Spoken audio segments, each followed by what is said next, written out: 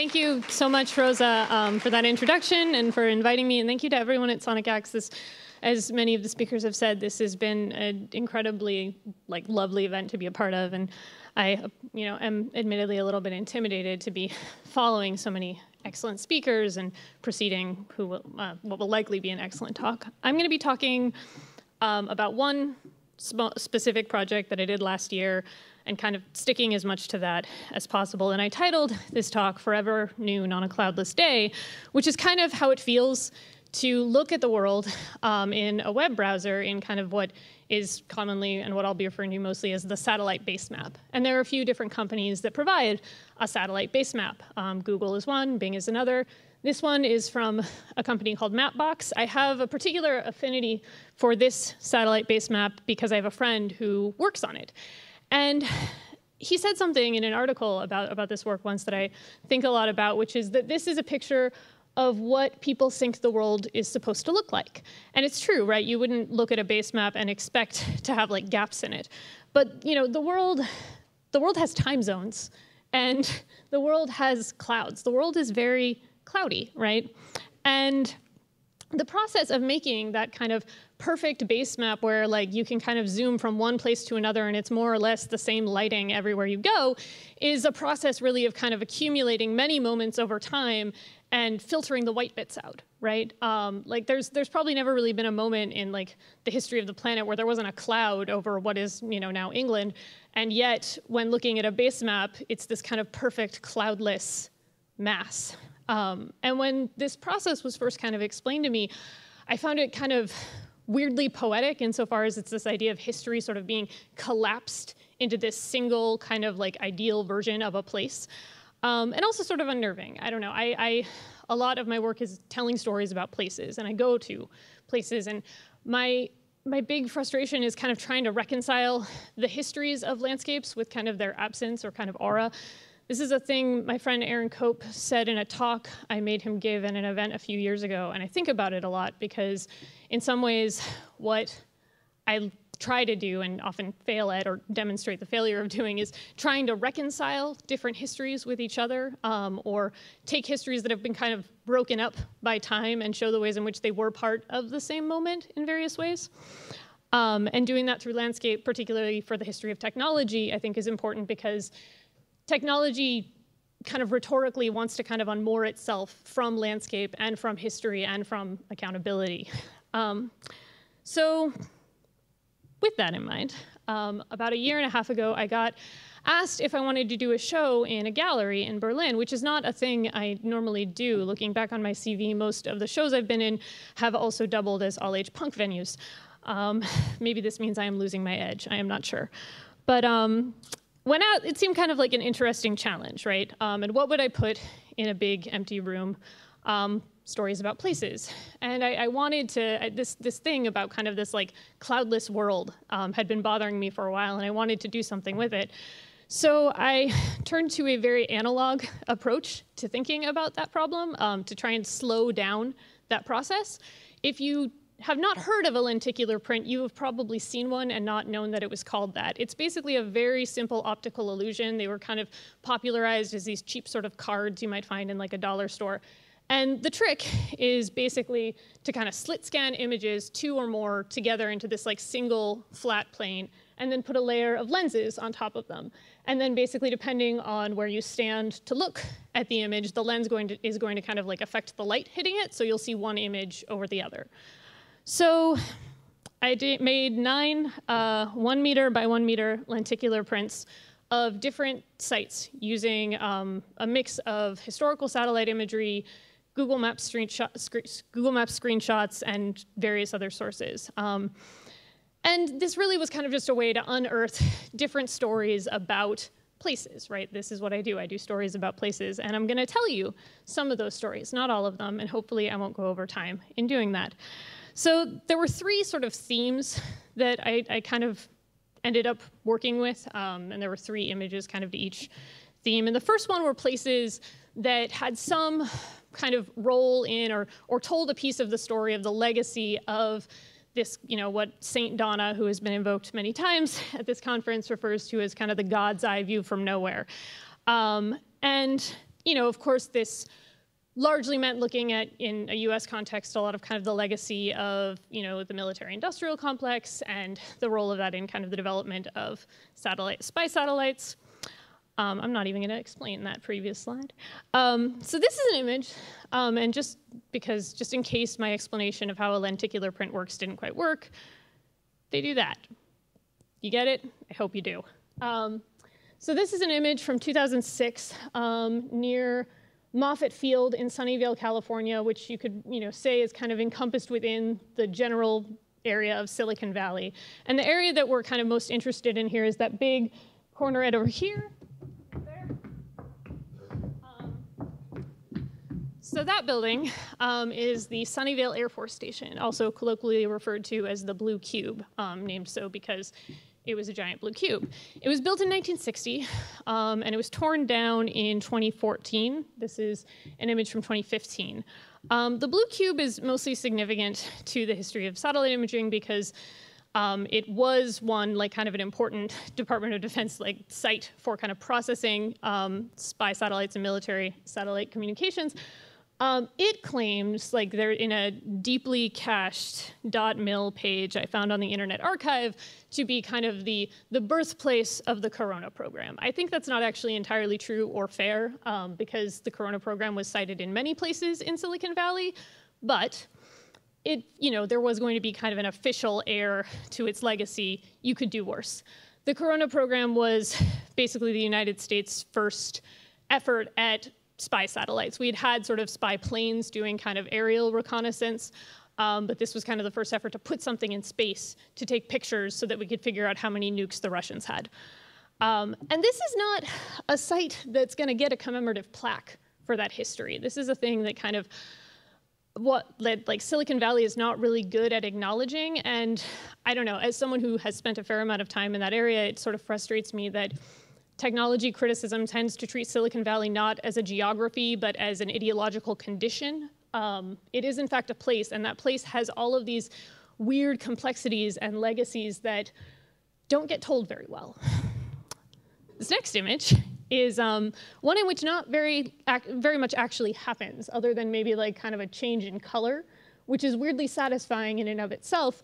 But the fact that nothing happens is in this particular kind of image is partly due to is kind of by design. So um, this is um, outside of like within like kind of a dry lake bed at Edwards Air Force Base in Southern California. Um, in 1991, the uh, START Treaty, Strategic Arms Reduction Treaty, required the United States and Russia to um, get rid of what they called um, strategic nuclear delivery vehicles, which basically means planes. Um, and there was this process by which the, both sides kind of had to verify that the other had kind of held up their end of the bargain, right? Um, and the process of kind of figuring out how are we going to do this was referred to in all of in the treaty as um, the national technical means, because at that point a lot of these spy satellite programs were still classified, and both sides knew the others had spy satellites, but they couldn't like acknowledge it. So they used this like weirdly diplomatic language to say look, fly your spy satellites over our bases and you can see all the planes we busted up and aren't working anymore. Um, and I actually, like, this is kind of apocrypha. I think it's actually only one of those two B-52s is a casualty of the START treaty. The other one might have been dead for quite a while. But there is something weirdly comforting or bookending about, you know, a technology originally created to count and verify like kind of the weapons on one like on the other side being used to verify the decommissioning of them.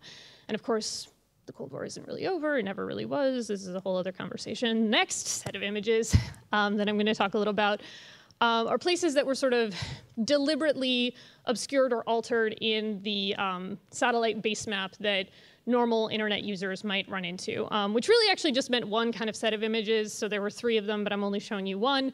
And it's a set of images that many of you, I imagine, are quite familiar with. Um, so the Dutch military, at some point, I think this is probably around 2006, made this agreement with Google about camouflaging and hiding certain kind of strategically important military sites. This is Volkel Air Base. Um, and lots of countries do this. There are lots of places in the Google kind of landscape that are a little glitched out or have old imagery or that kind of are like hard to see. And that's very common. The thing that's weird about the Dutch ones is that they have this specific aesthetic that I've read described as like somebody found out about the crystallized filter in Photoshop and kind of just went to town. Um, it also kind of supposedly looks a little bit like Dutch camouflage. Um, this is the sort of like, we've talked a lot about science fiction, and for anyone who's read um, William Gibson's Blue Ant trilogy, this feels like the sort of thing the arch villain of that series would have come up with. All right, maybe not. Um, but uh, so there's you know a few different sites like this. Mishka Henner did a series kind of cataloging all of the different sites. The thing that's also kind of weird about it is that other services censor it in completely different ways and don't seem to care about, you know, this Dutch brand identity that seemed very important in the Google context. This is um, from Bing. And I also, like, the negotiations of how to hide things in public imagery is like a conversation I would love to be a fly on the wall for because that is not like less conspicuous, right? Like, I wonder where the rumored nuclear missiles that are thought to be at Volkel Air Base could be. It can't possibly be that black hole in the middle of the landscape. Um, not that you know the crystal filter does it any better. Um, and then the last set of places that were part of this this series are places without which, in a way, um, I would even kind of be having this like itch to like poke at satellite imagery. Um, by which I mean um, it was mostly a set of three different images of different Google data centers. And I do a lot of other work related to network infrastructure and have a lot of ambivalence about the sort of data center as new fetish object. Like I, I worry that there is an appeal towards you know replacing the abstraction of the cloud with the like concrete materiality of the data center just kind of gives us a new box that we cannot comprehend.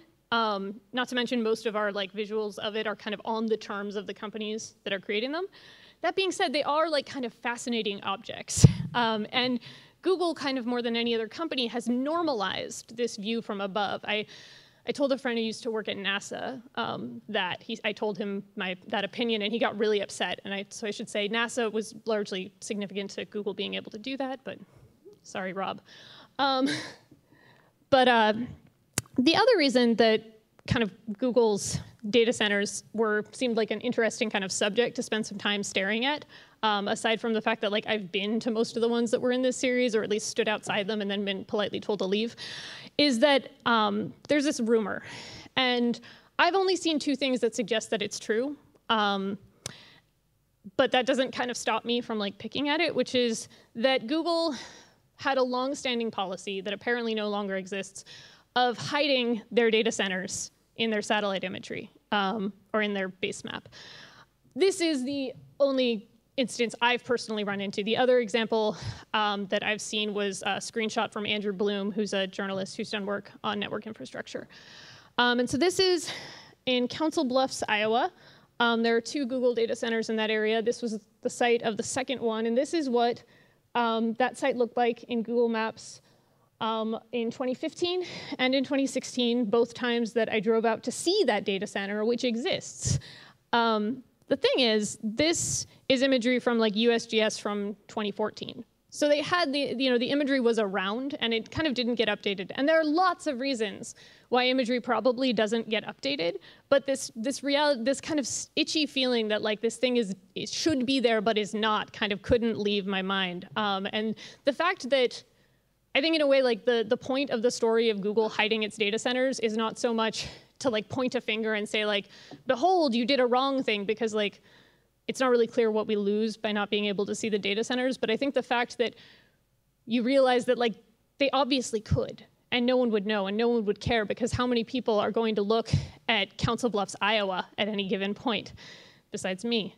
Um, of course, within like shortly after all of the files for this project were sent to the printer, they updated the imagery with the data center in it, um, although not everywhere. Um, so on the right, that's um, Google Maps with the you know magnificent data center intact. That's uh, the co.uk Google Maps, which I screenshotted a couple of days ago. And I, again, like this sense of kind of like the inconsistency of the base map across spaces is probably has more to do with the fact that like corporations are really busy um, and kind of incoherent and you know there isn't necessarily like a master plan to these things but this idea that there is a base map the idea that that the satellite view um, you know the you know, St. Donna's God's Eye View from nowhere could have some sense of like unity and coherence is something that I think is worth remembering is kind of a fiction. Um, so that was some work that I made in 2016. Um, that project wrapped up in September and I did it. And I kind of, this is the first time I've actually really talked about that work um, because a bunch of other stuff happened um, in my, my broken country. And I haven't really, I've been sort of trying to figure out how to talk about it, right? Because it's quite, you know, it's whimsical and kind of to the side. Um, and I guess the, this is maybe more of a joke than anything else. I've been thinking a lot about kind of the view from above in its many forms. This is a photo I took after the election, a couple of days after the election. Um, and I think a lot about those, those retail workers uh, far, far enjoying their view from nowhere, um, which is always somewhere, right? It's always positioned, it's always something specific, and it is not kind of, you know, free from the limits and responsibilities of the world. Um, and, you know, again, I tell stories about places, and what I'm mostly trying to do is kind of maintain a link to the histories that tend to disappear in landscape because landscapes change all the time. So maybe what I should have been showing you this whole time instead of the like optical illusion piece of those pieces was actually these kind of messy versions, which happen when you stand just at the wrong point with them, or maybe just at the right point, when these different kinds of timelines sort of collapse in on each other and you can't really figure out what you're looking at um, which seems maybe more like a sincere way of talking about what it is to try and figure out how to be in the world. Um, a lot of people have been saying in, in art and culture context now more than ever after making statements like that. Um, and it's maybe more of a now as it has always been. Thank you.